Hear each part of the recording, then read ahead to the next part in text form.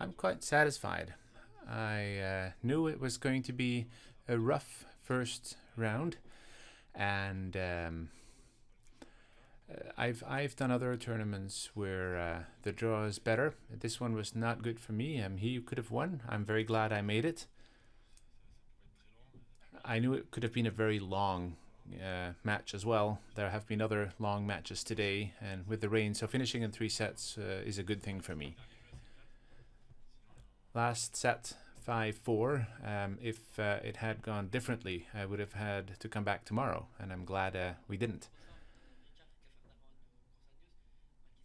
Question?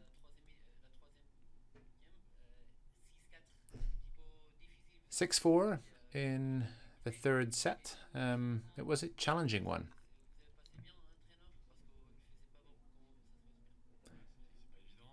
How do you um, how did it feel? Answer: Well, Bellucci is a great player.